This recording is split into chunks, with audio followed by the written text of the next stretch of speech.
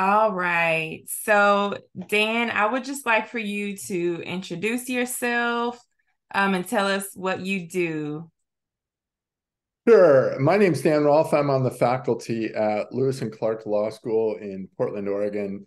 Um, many years ago, I also co-founded our domestic environmental law clinic at Lewis and Clark, which is called Earthrise Law Center.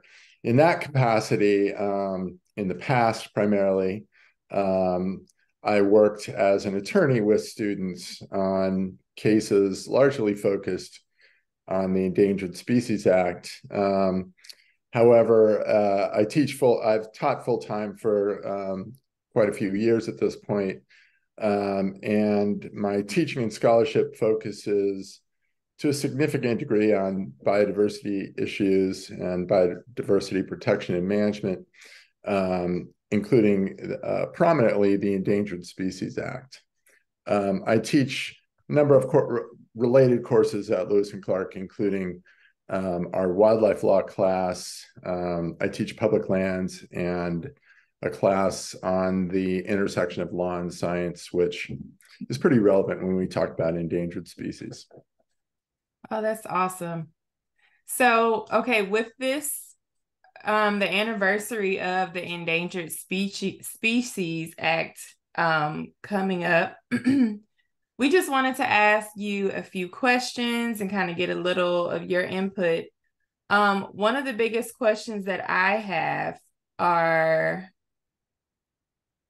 um, with okay, looking ahead with this act, what do you believe are the most pressing priorities for strengthening the ESA? And what role can the public, policymakers, and scientists play in ensuring the long term success of endangered species conservation efforts?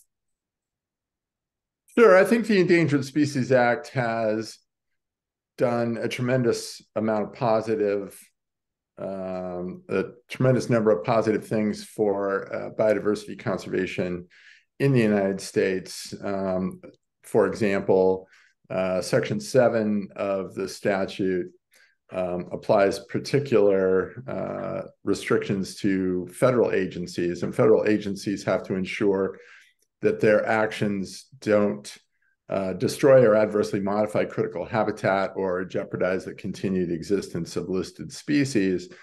And the statute also sets up a consultation process uh, between agencies that are taking an action that may affect listed species or their habitat and the so-called expert agencies, the U.S. Fish and Wildlife Service and the National Marine Fisheries Service. And that alone um, requires that federal agencies at least consider and actually um, make accommodations for endangered species and their habitat in virtually everything that federal agencies do. So um, that alone has been a game changer because it affects not only the actions of federal agencies, which especially in the western portion of the United States includes managing about half the land um, of that huge region of the country, but um, federal agencies uh, actually issue all sorts of um, very important permits. Uh, the federal government funds a lot of activities, highways, et cetera.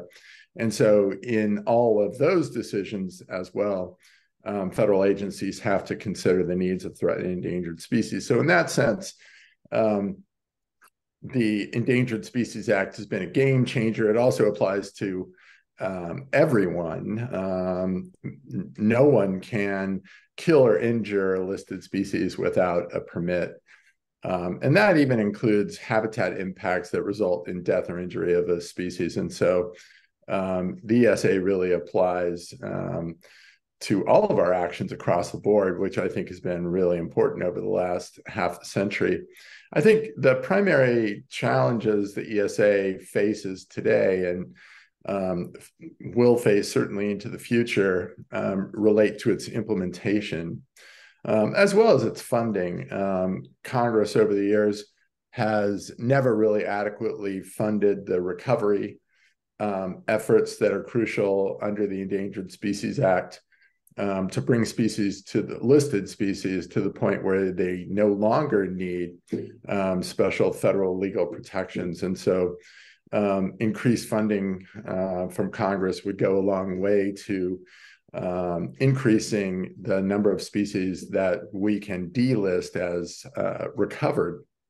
Um, at the same time, it takes uh, federal agencies um, oftentimes far too long to add species to the lists of threatened or endangered species that need to be protected.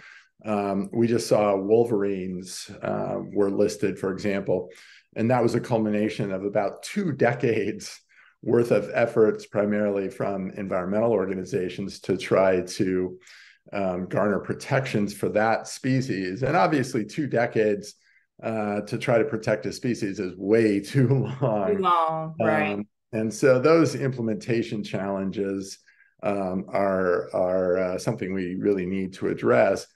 Um, another really significant one that I've focused my scholarship on recently is uh, the mandate in Section 7 um, that federal agencies can't destroy or adversely modify critical habitat or jeopardize the continued existence of protected species.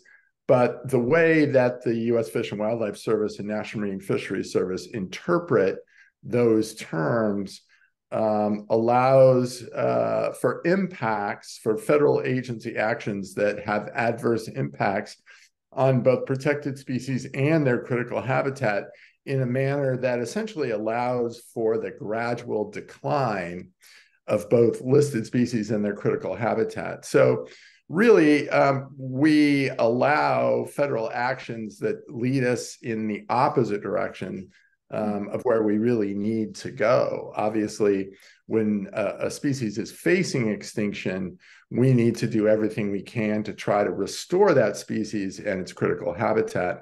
Um, but as the uh, agencies responsible for implementing the Endangered Species Act interpret really important terms under the statute, they effectively allow management of protected species and their habitat to gradually decline over time. So it's pretty hard to recover species when we say, well, we'll let them decline to uh, a greater degree toward extinction, and then we'll try okay. to recover them. So um, I think those sorts of implementation ch- challenges, um, as well as greater congressional commitment um, to funding the act, um, are really important for the future. There's one other aspect uh, of the statute that we just saw um, play out in Alaska as well that I think is is crucial, not only for um, protecting threatened and endangered species, but also for helping us address climate change.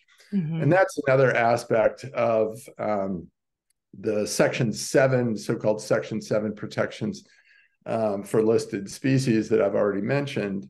Um, and as the, the services also interpret Section 7, they can essentially ignore the impacts on um, listed species and their critical habitat from greenhouse gas emissions.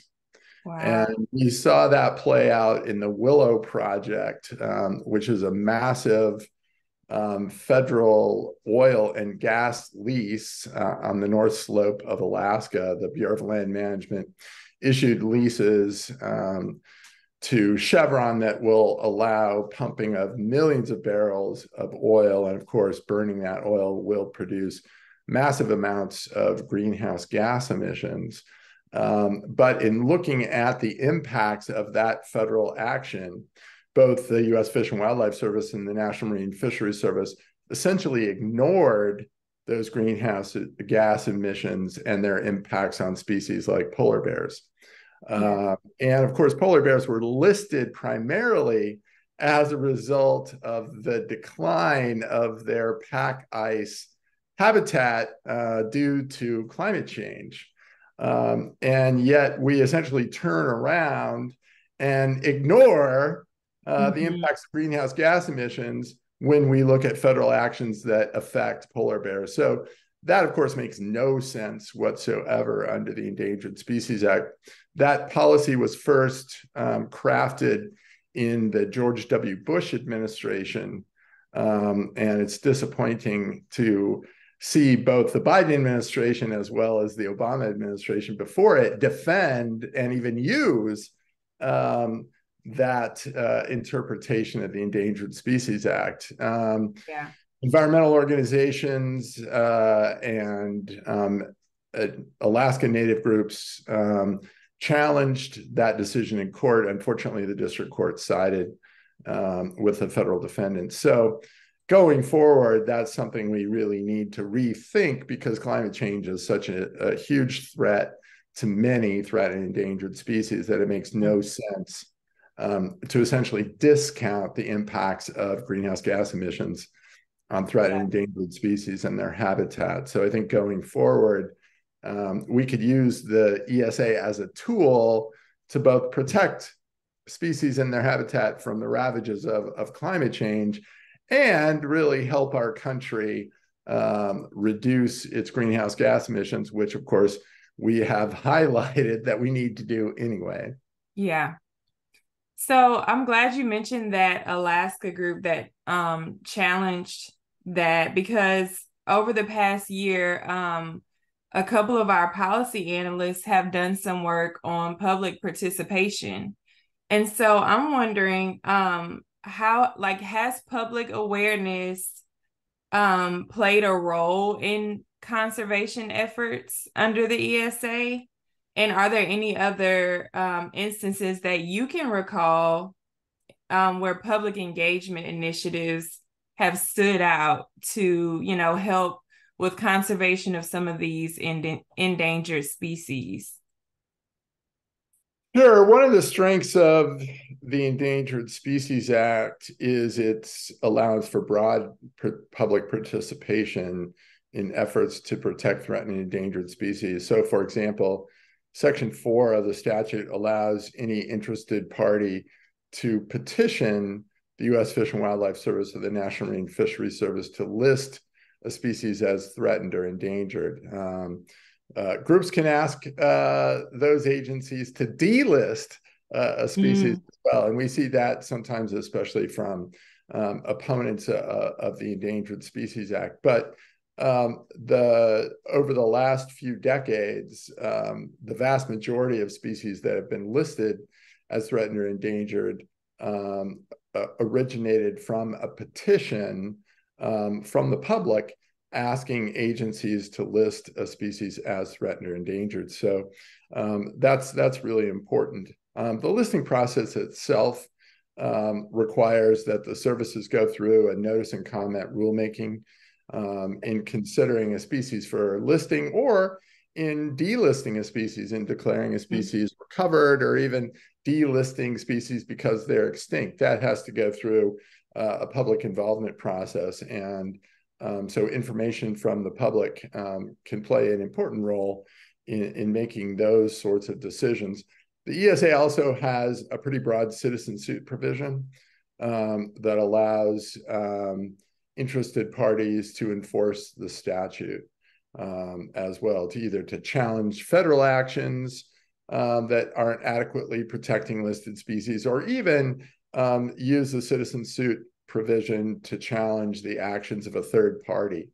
Um, so, for example, in Oregon, um, some organizations challenged the state of Oregon and its management of state forests as not adequately protecting the nesting habitat of marbled murrelets and thus causing an illegal take uh, or killing of, of marbled murrelets by um, essentially cutting down their habitat.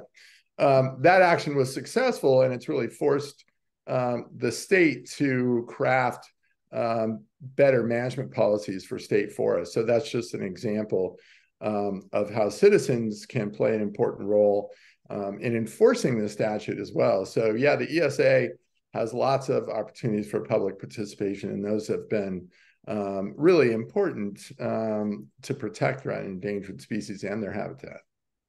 Awesome. Um, I'm gonna turn over to Spencer. I think he has one or two questions as well. Um, yeah, thank you, Rachel. Um, this has been really great so far. Uh, so we've talked a little bit about challenges to the Endangered Species Act. I'd like to hear more about um, opposition generally Um, where does it come from? Um, it, partly public perception, but also more concerted opposition, whether it's politicians or private actors. Um, why do people? Why do the why do the opponents of the Endangered Species Act oppose the Endangered Species Act? Sure, there are lots of reasons that um, people may oppose protections for threatened endangered species in their habitat. Um, some are quite misguided. so, for example, in in the latest case, the latest Endangered Species Act case that went to the U.S. Supreme Court, um, there was a landowner that was objecting to um, a rule which included part of that landowner's private land within a designation of so-called critical habitat um, for an endangered species. So Section 4 provides um, that the services should designate an area called critical habitat um, that's essential for the recovery of listed species. But um, even though private land can be included in those critical habitat designations, um, the statute's prohibition against destroying or adversely modifying critical habitat only applies to federal agencies, so it doesn't apply um, to private landowners. But still, there's a huge misconception by private landowners um, that if their property is included in a critical habitat designation, that that creates some sort of wildlife preserve or something like that on their land, um, when it really does not. So um, some of the opposition from uh, for the to the Endangered Species Act just uh, arises from simple misunderstandings of the law, um, but others perceive the statute as um, slowing down economic development or inhibiting property rights, um, those sorts of things, and it's really something we see with all environmental law. Um, environmental laws are typically just a way to um, force us to internalize costs. So when we cut down trees, yeah, the tree trees have value, and you can sell timber on the market. And oftentimes, um, forest landowners or timber companies, that's kind of all they think about is, well, let's what's the bottom line? You know, how much money can we get from these trees? And um, that essentially discounts a lot of other costs imposed on society as a result of, of that action. So cutting down trees can impact water quantity as well as water quality.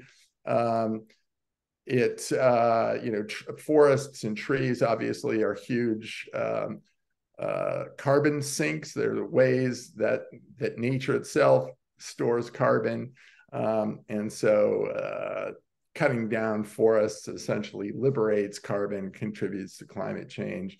Um, so all of those costs um, are oftentimes just borne by the public, but the Endangered Species Act essentially says, now wait a minute, you know, if when you're cutting down a forest, you need to think about the impacts on threatened northern spotted owls mm-hmm. or other imperiled forest species, or you need to think about the impacts of uh, sediment um, pollution on salmon.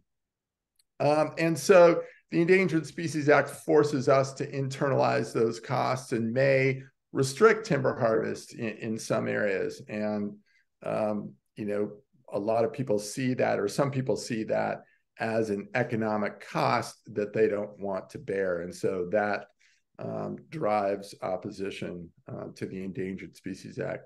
We typically see that play out in Congress um, as Republicans um, calling for amendments um, to weaken the Endangered Species Act. Democrats um, generally have um, stood pretty firm for the most part um, in uh, saying that the Endangered Species Act is an important federal environmental law that we really need to protect. Um, one uh, talking point that I think um, that opponents of the Endangered Species Act lean on quite heavily um, is something that I think is a real misrepresentation um, of the statute. So typically, you'll hear opponents of the of the Endangered Species Act say, "Well, uh, if you look at the ESA's track record over the last 50 years of its existence since it was passed in 1973." um, there have been relatively few species that have been delisted um, as recovered, that we've listed them as threatened or endangered. The statute has worked to recover the species, and so now we can take them off the list. And mm-hmm. that's true. There have not been as many species um, recovered that we'd like to see. Obviously, um, we'd like to see all the species that have been listed uh, declared recovered. And unfortunately, um, only uh, a relatively modest percentage of, of, species have been delisted and declared um, recovered. But that results um, from a lot of things, as I mentioned, inadequate recovery funding, um, the fact that many species were listed when they were in real biological trouble. Mm-hmm. And so uh, you can't turn that around in just a couple of years and say, oh, yeah, you know, that. Yeah. That statute worked, you know, it just took us five years and boom, no problem. Um, obviously, protecting species and the ecosystems they depend on is a long term proposition. And so, um, you know, it took decades for many species to get to the point where they're facing extinction. So we shouldn't be surprised that it takes sometimes significant uh, amounts of time to recover listed species. Um, if you look at the the um, statistics and studies, um, they pretty clearly indicate that species that are listed under the Endangered Species Act and have designated critical habitat are in much better shape than they would have been um, without those legal protections. So the Endangered Species Act doesn't work. I mean, does work um, quite well. It may not work as quickly as some would like, uh, mm-hmm. or maybe even as many of us would like. Um, but unfortunately, the opponents of the act say, well, um, it hasn't been as successful as we'd like in recovering listed species. And their prescription uh, for that observation, um, you would think that well, if if we if the these legal protect, protections haven't been able to recover species as quickly as we'd like, the logical thing would be to say, well, maybe we need to improve those legal protections. Maybe we need to strengthen um, the law in order to provide more protections for imperiled species in their habitat, and that could recover them faster. Well, that would be the logical approach. Um, but many opponents of the ESA say, well, it hasn't been very successful at, at recovering species, so therefore we should dramatically weaken it.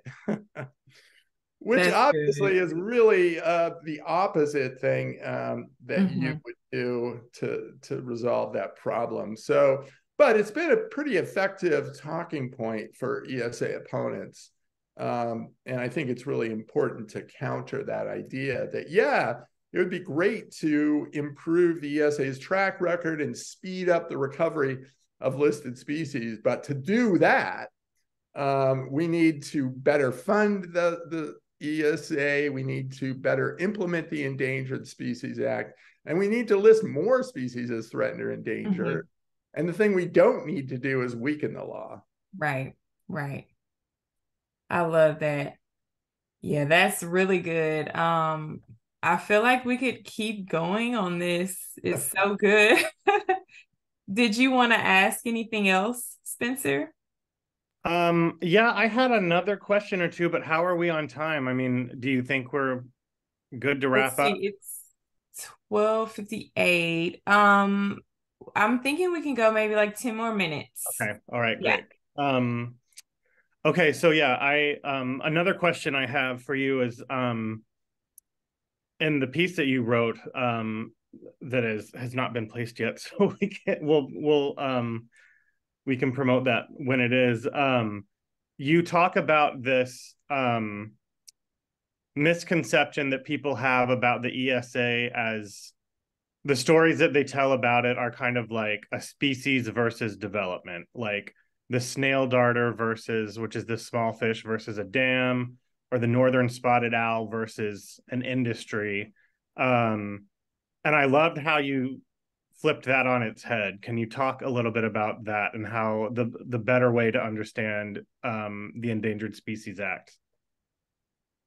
Sure. A lot of times when we talk about the statute, um, we do try to set up this dichotomy. It's either protect this species or you know our economy is going to go into the tank um, you know oh we're going to protect this small obscure species and it's going to cost all sorts of money and it's going to deprive uh, property owners of all of their rights et cetera et cetera um, but um, I think that really mischaracterizes a couple of things. The uh, if you read the Endangered Species Act itself, one of its primary purposes is to protect the ecosystems upon which threatened and endangered species depend. Um, and actually, there are a number of policies where the agencies that implement the Endangered Species Act have emphasized those ecosystem protections. Um, and if we better protect listed species and their ecosystems, um, oftentimes we have huge benefits to other species um, and huge benefits to human communities as well. And so, if we look at protections for biodiversity more broadly, um, we see that the steps we need to take to protect species and the, their ecosystems ultimately benefit all of us mm-hmm. because humans are part of a broader natural community and what are some of the things that we as humans really need? Well, we need clean water. We need carbon sequestration. Um, we need biodiversity for raw materials like genetic uh, resources for new medicines. Um, we need uh, to avoid um, catastrophes. We need to try to avoid wildfires. We need to build in ways that keeps uh, us safe from things like increasingly strong storms and bigger floods. Well, all of those ways, uh, all of those things that we need to do to protect ourselves ultimately are protecting endangered species as well. So if we protect wetlands and floodplains, we're protecting salmon. We're protecting um, a lot of species that depend on wetlands. So we're protecting species and our cities. We're making our cities, we're making uh, people uh, and where they live more resilient in the face of climate change at the same time that we're protecting habitat and restoring listed species. If we reduce our carbon emissions, which we desperately need to do, we're protecting ourselves, but we're also addressing a key threat um, to a lot of imperiled species. So really um, the the it's outmoded to look at a species versus jobs or species versus human or species versus property rights. Um, biodiversity and protections for biodiversity is really part of the steps that we need to take to benefit ourselves as well, to make our communities more resilient um, in the face of climate change to make our world more just. Um, so, for example, there are um, quite uh, a number of uh, indigenous communities, Native Amer- American tribes that are using the Endangered Species Act to restore the ecosystems and the resources that they depend on. So, here in the Pacific Northwest, for example, tribes have used Protections for Endangered Species Act uh, to help vindicate their treaty rights um, to fish, which were guaranteed to them um, almost 200 years ago, and which um, unfortunately have often been violated. And so, protections for salmon, protections for salmon habitat are helping to protect the treaty rights uh, of Northwest tribes. So ultimately, really, the Endangered Species Act, yeah, it's important to protect biodiversity and to recover threatened and endangered species. But the steps we need to take to do that ultimately have huge benefits for humans um, and our society, our economy. Um, and so, you know, if we really look at the um, the reason behind the Endangered Species Act, it's to save ourselves as much as it is to save imperiled species.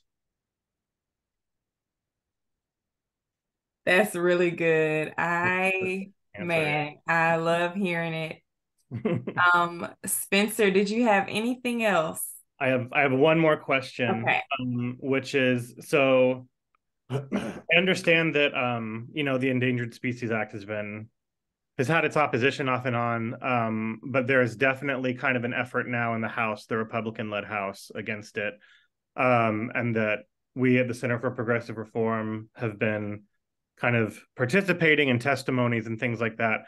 Can you talk a little bit about sort of a quick summary of what's happening and the role that um, you in particular or the center generally are are doing right now with the Endangered Species Act um, in the House?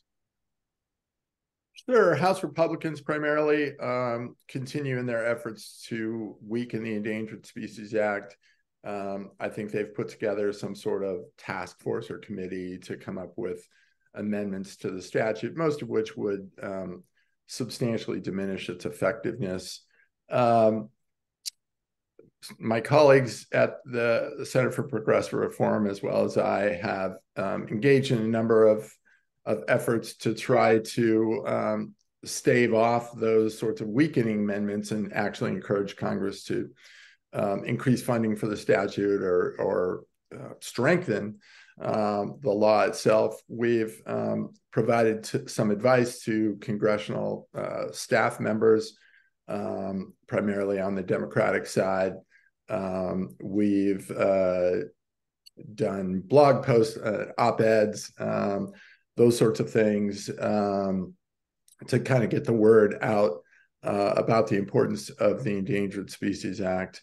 Um, so we want to serve as a resource um, for members of Congress to um, both talk about the the ins and outs of the law itself, but also um, the importance um, uh, of the law in protecting biodiversity. Our clinic at Lewis and Clark um, also represented um, several members uh, of the House, several, several, Democratic members of the House, in an amicus brief um, that was filed with the district court in the challenge to the massive um, federal oil um, and gas lease in Alaska, the Willow um, lease. And so uh, our clinic represented um, a number of uh, Democrats in the House um, and pointed out that the uh, U.S. Fish and Wildlife Service and the National Marine Fisheries Service were not adequately um, implementing uh, the law by essentially ignoring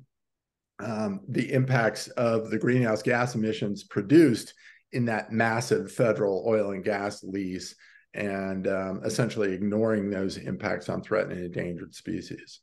Um, so there are some excellent uh, members of the House um, on the Democratic side that are pushing back against efforts um, to weaken this uh, the Endangered Species Act. Unfortunately, of course, at this at least at this point, the Republicans control um, the House, and so they're kind of pushing forward um, with an anti-ESA agenda. But you know, by providing information um, to both members of Congress, to the public, um, and even uh, to um, judges, um, we're hopefully really pushing back against those efforts.